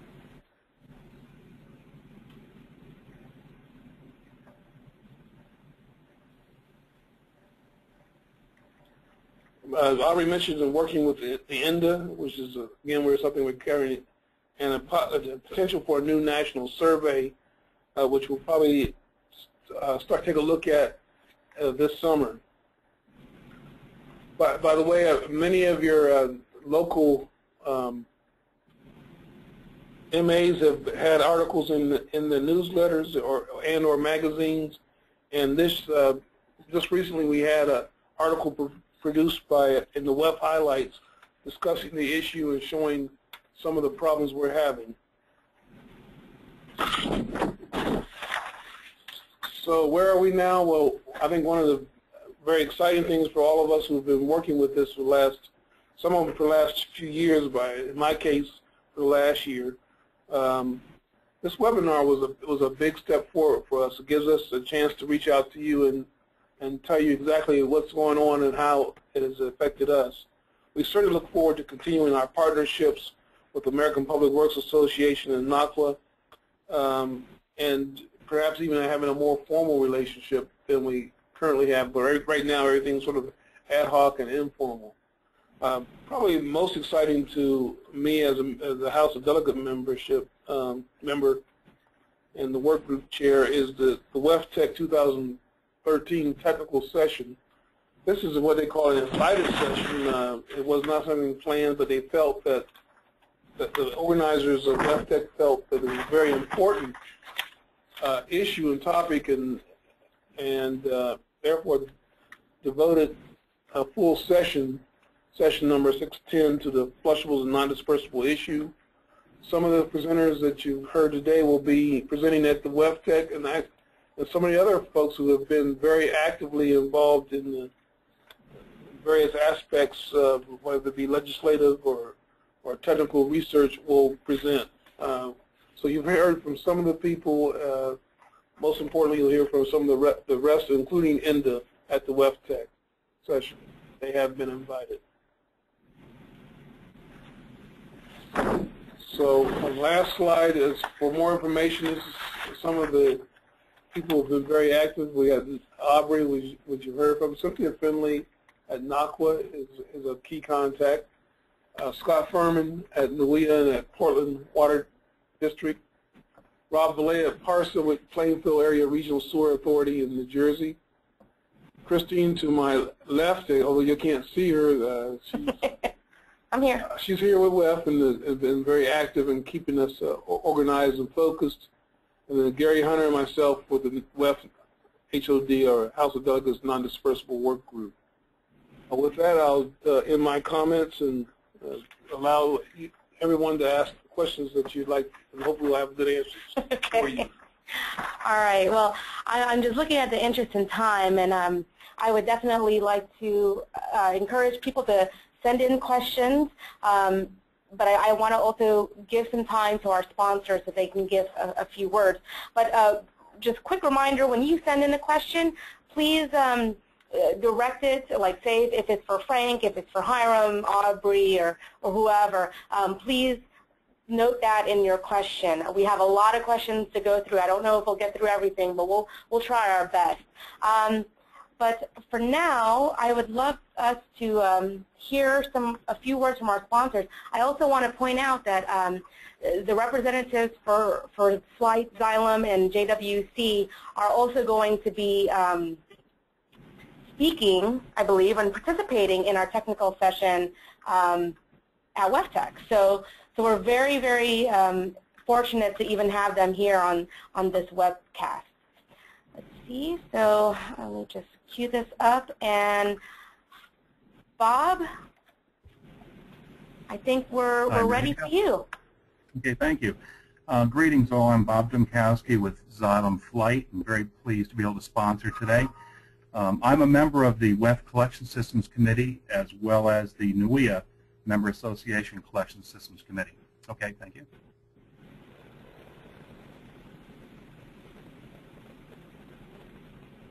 Next. Here we go. Um, some typical products manufactured using non-woven sheet technology, we find their ways today into our collection systems, and these are obviously introduced by our ratepayers. Next. The reality of current wastewater pumping, though, is that there is a greater chance or, or possibility experiencing severe ragging issues uh, than there is to see large quantities of solids. The distribution curves continues to creep to the right, and especially the big concern is that these materials are great filters where grit, sand, grease, and biological matter uh, are filtered through these products and then can certainly agglomerate. Next. The original wastewater pump impeller design using a two-channel uh, two-channel vanes with blunt leading edges and large throughputs was first designed in 1915 by Mr. A. Baldwin Wood of New Orleans, and it was so-called the wood trash pump. The descendant designs today, which are basically the same designs from uh, the wood design, are what's being used in wastewater pumping and are not capable of handling today's modern trash. Next. Laboratory and field installations have shown that wastewater pump clogging is due to modern trash occurs in three basic ways. One, the impeller clogging of the leading edge or the eye of the impeller of that wood design. Number two, jamming of impeller wearing. This material is very thin, and if not protected properly, it can actually uh, travel down between the wear rings and uh, act like a clutch or a brake and really uh, cause um, higher current and more energy to be used. And finally, the full plugging of the volute, which is shown here in a vortex pump. Next. On the left is a pump covered, uh, it's actually from Peoria, Arizona. Thank you to them. This is their cousin IT pump station. Um, the pump on the right is a Flygt N pump, was operating properly, but quite frequently they remove the pumps just to clean out their wet well. Next. The TV news crew visited a pump station in Thiensville, Wisconsin, uh, which is a suburb of Milwaukee, and uh, they're reporting on the pump clogging issues they're having there. And uh, while uh, in Mr. Andy LaFon, Director of Public Works' opinion, while public education is important, ultimately he believes they need to invest in improved and modern equipment to handle this material. Next. That innovation, innovative uh, product does uh, is in existence today. It's a Flygt N technology where the leading edges are wiped every clean the impeller. The difference here is the impeller has horizontal leading edges rather than vertical leading edges, and they're able to be wiped clean to provide sustained high hydraulic efficiency and non-clog operation. Next. Currently, there are uh, sizes available from 4-inch through and 3 horsepower through 16-inch 500 horsepower, and shortly to 20-inch and 800 horsepower pumps in the N design specifically for those master lift stations and wastewater treatment plant headworks pump stations. Next. The adaptive version of the Flygt N technology was selected as the 2011 Water Environment Federation Innovative Technology Award-winning product.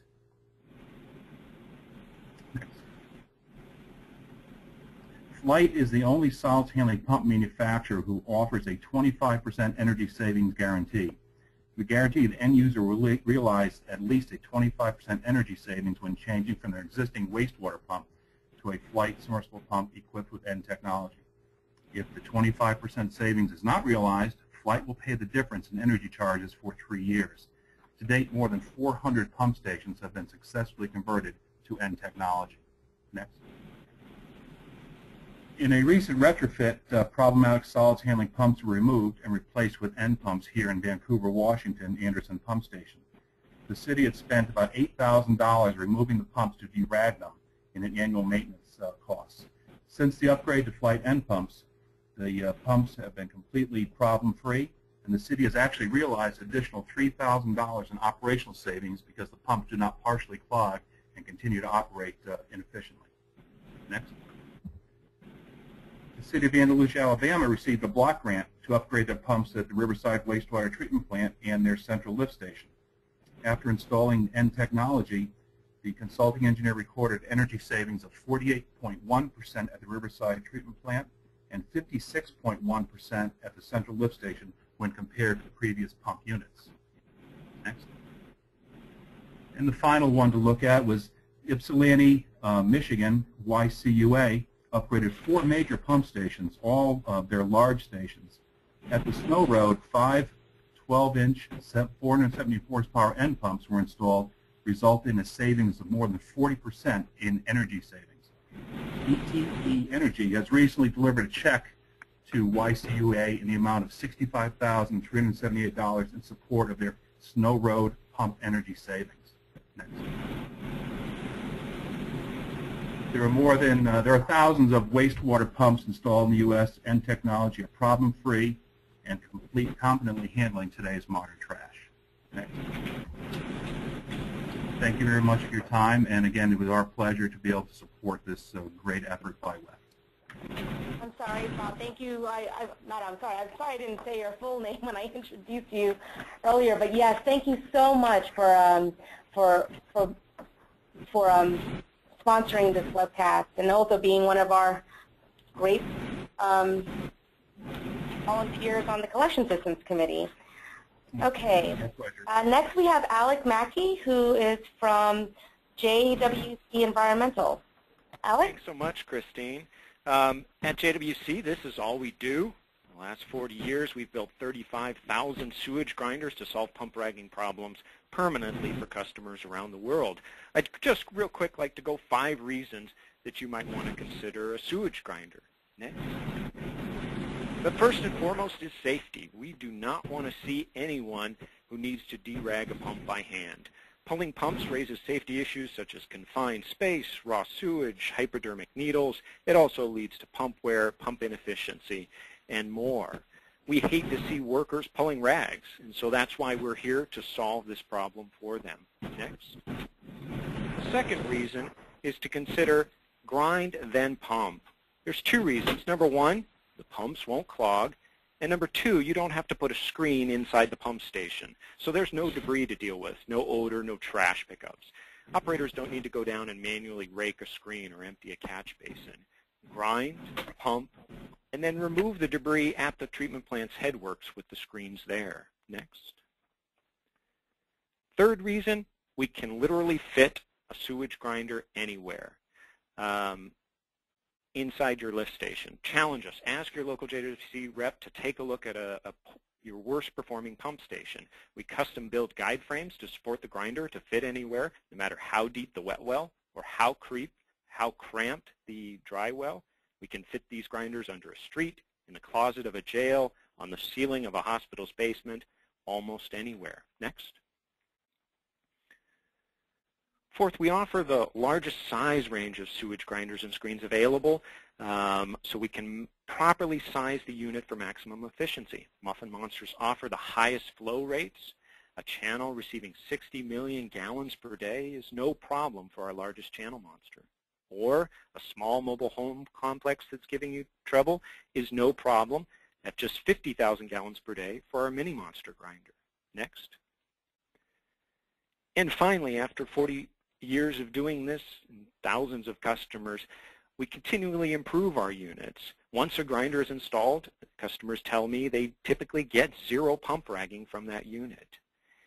And our research team continues to invent and improve on our units to come up with new cutting-edge technologies. We're always improving the Muffin Monster and Channel Monster every year. Recently, we introduced the Baldor high-efficiency immersible motor, which is better for pump stations, as they rarely flood, but when they do, the grinder keeps running. Next. And of course, we have to address, if you prefer to get the screen rags out in your pump station, we can do that as well. Next. And one more, Christine. The Auger Monster vertical screen, one perfect. Attaches to the wall of a pump station right in front of the influent pipeline. It grinds, screens, and lifts the rags and debris to deck level where it's compacted and then drops into an auto bag bagger. This handles about 1 million gallons per day. And the next one is our bar screen monster. This unit is good for 10 to 40 million gallons per day with, uh, in pump stations with channels. Reciprocating rake screen. In this picture, you can see the screening rake descending. We offer an exclusive submersible brake motor, so our screen is much shorter than other screens, so it fits inside pump stations. We also ship this bar screen fully assembled and completely enclosed, so you just drop it in, bolt it down, and turn it on. Next. So again, for your worst performing pump station, call a local JWC rep. We have 250 sales reps across the country. A Muffin Monster or Channel Monster can solve that problem. And like many wastewater manufacturers, we encourage the industry and the wipes manufacturers to push for a recycling fee or an extended producer responsibility. Because if there, there is no infrastructure, there's no machinery without this adequate funding. And we're all connected in solving this problem together. And with that, thank you very much. Alex, thank you, thank you too. Um, uh, we did get a question. Someone wants to know how they can get a Muffin Monster t-shirt because those are awesome. That's right. Just email your local rep or the factory. We'll get it for you. Actually, I'd like to point out to those also on uh, participating in the call, um, I do believe um, JWC and um, Flygt will have booths at WEFTEC. So Okay, yeah, gratuitous self-promotion. I'm, I'm telling you guys to come to WEFTEC so you can come to the session and you can meet the speakers as well. Okay. Um, oh, what did I do? I'm so sorry. Let's uh, get some questions. We have about 15 minutes here, and I'm going to open up all these questions to everybody else that's um, uh, to, to, even Bob and Alec, because there, there were some questions at the very beginning, and uh, anybody feel free to jump in. Uh, here's one question from Zach. Would installing a macerating chopper pump improve ragging clogging issues?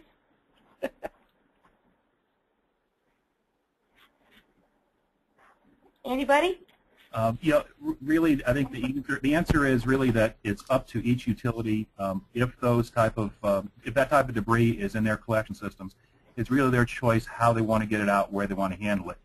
Uh, whether it's at each lift station individually or whether it's to move it all to a, a master lift station and like. And uh, there's an array of products, whether you, in fact, in New Jersey at WEF, uh, WA this year at the annual meeting, there was a workshop and it was basically called Pump It, Grind It, Screen It. And it all those alternatives. It was a really wonderful session set up by Bob Villée. So um, I don't, you know, of course, I'm going to be slanted towards pumping it or using a chopper pump or an N pump. Um, I'm sure uh, Alec, uh, the grindings is is on you know first off his rolling off his tongue as well. So um, it's really up to the utility. They've got to make an informed decision and what's best suited for their utility. How about um, from Frank and Nick? What what are your opinions? Actually, this is Aubrey. I'll jump in and say that I have used um, a grinder pump in some projects in the past when I was with a different firm, and they can absolutely be a very good solution. I think you want to look at um, the head that you have coming into the specific station that you're looking at, and also look at, I think, the variability of flow that comes in, and also understand the commitment that you're making to maintain um, the, the parts of a grinder pump if you do choose to use it. Okay, here's another question. Um, I think this is more directed to uh, Frank and Nick. um, at the utility, do you have experience with items never making it to the uh, treatment plant um, and they're just clogging up the pipes instead? Is, is that what you're seeing? This is Frank. Um, there, there are some points in our collection system where we see um, uh, materials piling up at maybe low points in our system. And then also, you know, wet wells, uh, we see a, quite a bit of um, these wipes and so on um, floating to the top and, and binding with grease and other floatables. So there's other ways that we have to uh, remove uh, materials uh, primarily by vectoring out uh, wet wells. So yes, we do see materials that do not uh, move on to to the treatment plant.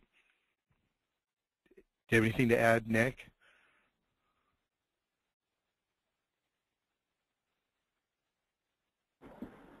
Nick, are you still on? Or maybe you're muted.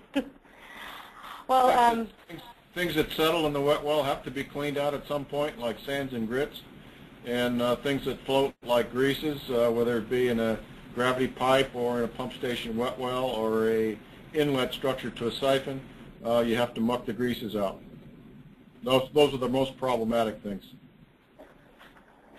Okay, here's a question for, for everybody on the webcast. Say that all the discussed materials do pass a screening in the pumping systems. What is the impact of those materials on the various treatment systems? Are they degradable or end up undegradable solids that need to be removed with the sludge? Uh, this is Nick. At some point, uh, you know, mass isn't destroyed. It, it winds up just going somewhere else in your process. Nothing, nothing vaporizes. So most of the materials would wind up in the sludge, uh, and that's that's what we'd see. So it would add to your biosolids loading at some point.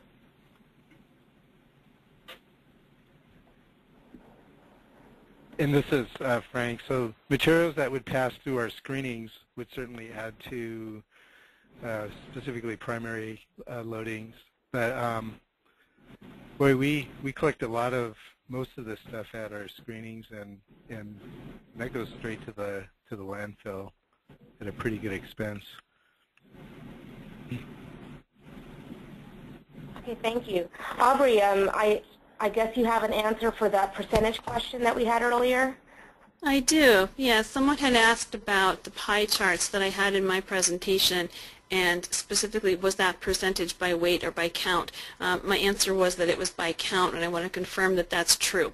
What happened with the Portland Water District forensics is we counted um, full products that came in.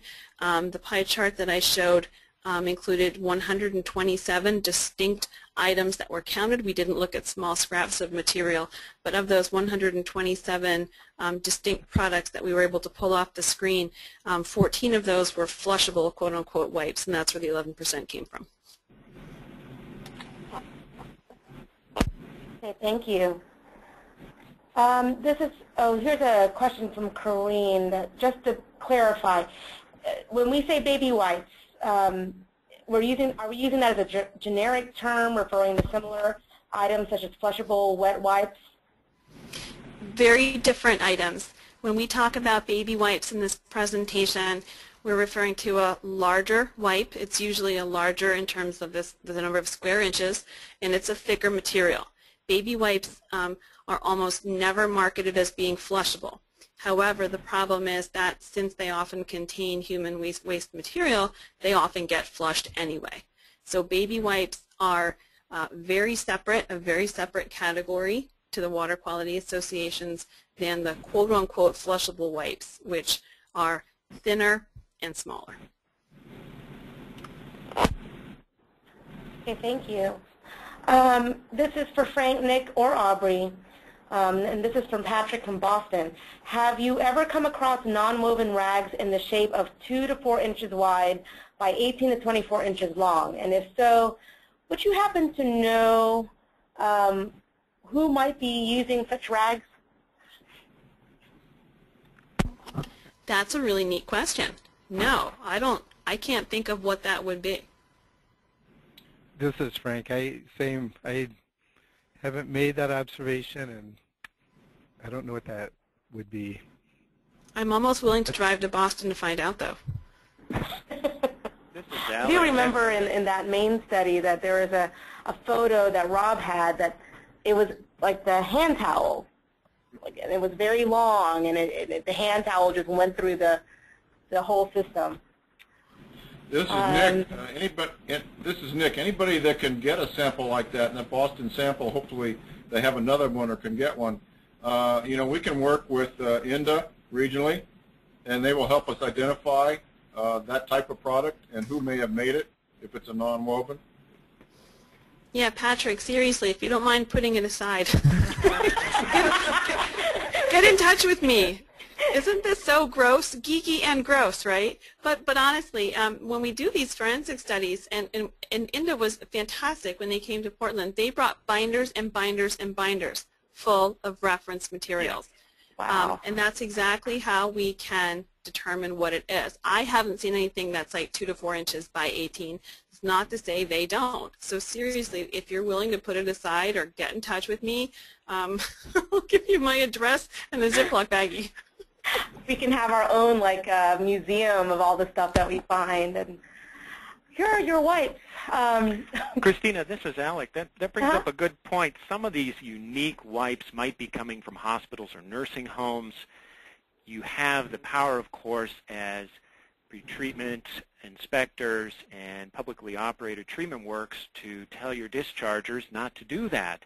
And that's how we work with a lot of jails, putting in screening or grinding machinery to take that material out if the staff will not listen to train, training and continue to put that stuff down the drain. But watch for hospitals and nursing homes, of course jails in your territory, and if you can pinpoint them as the problem, training, better pump, or screen or a catch basin can be the responsibility of that hospital, nursing home, or jail to put in and maintain. That takes the burden off you. mm-hmm. That's good to know. And one other side, I'm sorry, one other sidebar is that occasionally some of those, those materials are stretchy in one or two planes, and they could just be also elongated quite a bit. That's just a thought. This brings out a good point as to why the wastewater industry is moving away from just uh, focusing on the word wipes. We're looking at all non-dispersible products. That's our real concern, and they come in many shapes and forms. Uh, speaking of all shapes and forms, uh, someone was asking, where, d- what, what are tissues? Are they flushable or dispersible? Or where do they fall in the mix? Facial tissues uh, are uh, non uh, non-dispersible. Uh, they actually have a strengthening agent to give them wet strength, and uh, they're not supposed to be flushed. And if you look at some of the boxes, the labeling uh, can confuse consumers. Yeah. Oops, here. okay, that's good to know. Um, here's a question from Alvin, and this is going to be directed direct to, to you, Hiram. Um, Alvin's facility is experiencing more problems with clogs in the sewer system and actual screen binding during wet weather events. Um, are you seeing something similar at DC Water?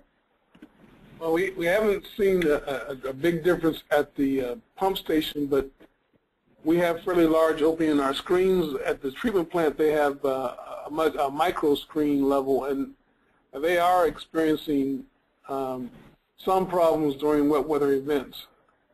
Uh, since I do not work there, I, can, I can, don't know how to quantify them for you, but we did have a discussion with the maintenance staff there uh, about that.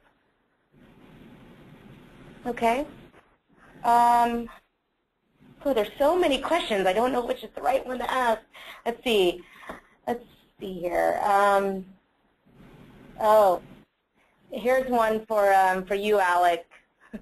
So this utility has recently installed a newly factory rebuilt JWC channel monster, but they're still having rag issues. So what should they look for next? And this is at an unmanned pump station. We, will look at that grinder. We can change the cutters on it. We can add more teeth to it um, to cut the material smaller. Um, and then if that doesn't work. If, if the if the grinder is overloaded or overwhelmed, it it it is it does step to a um, a screening device. But we have so many configurations to try first, and lots of tricks up our sleeves um, to try and solve that problem. Great, thank you. Um, uh, David Powling, I'm going to give him another shout out. He has provided a link to download the edition 3 of the Code of Practice. So when we, um, we'll, we'll post that link with on the FTP side with um, any other information. So thank you. Thank you, David. And also there were several people that um, shared a video that they did like in Ontario, uh, London, the city of London, Ontario. So we'll, we'll post that as well and, and get back to our, um, get back to NACWA and see if we could post those on the website. Um, well, I see it is almost 3. We got another minute. I, uh, we have a lot of questions. Um, I'll send this all to the speakers. We'll see if we can get everything answered for you guys. And um, I just want to thank all the speakers. Thank you, Frank, Nick, Aubrey, Hiram, Alec, and Bob. Um, and, and, especially Alec and Bob, thank you for letting this be for free so that we are over 400 attendees could view this at no cost. Um, I, I want to give another plug for WEFTEC. So you guys, please consider going where you can meet these speakers. You can uh, check out the different um, equipment and everything. So um, thank you again, everybody, and maybe we'll do another one later, okay? Take care.